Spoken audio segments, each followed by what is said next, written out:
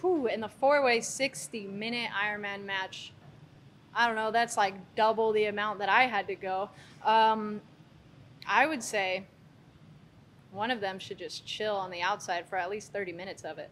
I'm just kidding. Um, you really have to be so knowledgeable about all of all your opponents. I was only against one person, um, so you have to be knowledgeable of all three other opponents.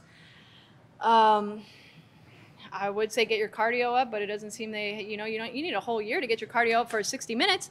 Um, be knowledgeable, be sharp. Um, don't be afraid to take the easy way out. You know what I'm saying? I think uh, between all four competitors, I am going to have to choose Finn Balor because um, we've tagged in the past and we've traveled the roads back in NXT together. So I think he uh, definitely has what it takes to overcome a 60 minute Ironman match above all the others.